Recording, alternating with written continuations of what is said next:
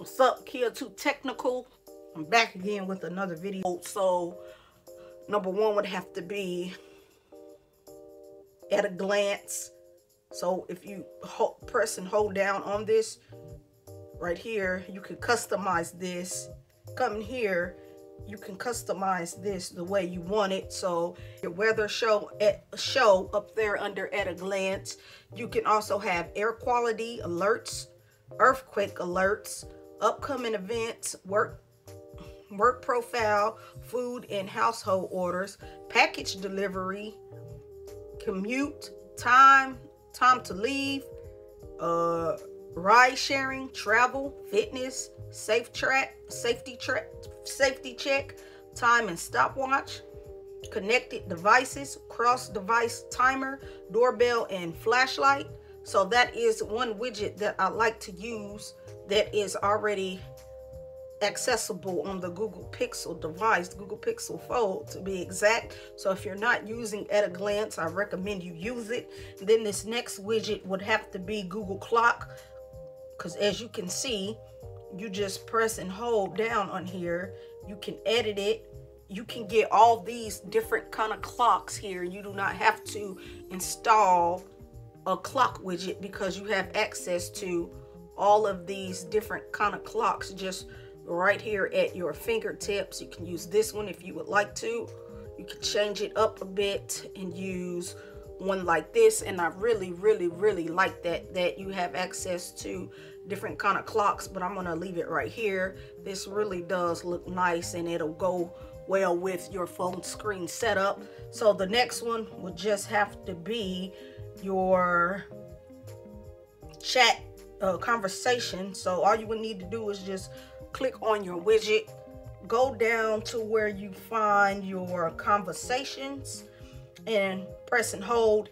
You can add a certain conversation to your um, with to your home screen just as a widget and anytime that person sends you a text message or um, whatever you have it set to. Right now I have mine set to Telegram. So anytime this group sends me a Telegram, all I would have to do is just open it up and it'll be right in here and I can reply to it from the screen. And I really do like that. I can come here and I can uh, edit it and change the conversations that I want to change, but I can uh, have access to using that right on the home screen without even opening up the Telegram app. So that is another one. The next one would have to be go back into your widget app because these are all widgets. So the next one would have to be your battery widget. It gives you access and shows access to what your current battery is on your device right from your home screen just like that. So that is another one that I like to use. And then I have another one which is Google Drive. So pretty much you get access to different things you can have on your home screen for Google Drive. So you can have suggested files uh, drive quick actions or a drive scan or drive shortcut. So let's just say we want to bring this here. So now I have access to all of my Google, all of my Google Drive uh, files just right here at my fingers, fingertips. And I can click on it and get out of it just like that.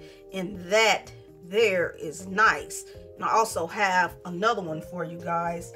And it is digital well-being. You would love, I would love to have this on my home screen so I can keep up with my phone's uh, battery, how I'm using my phone's battery.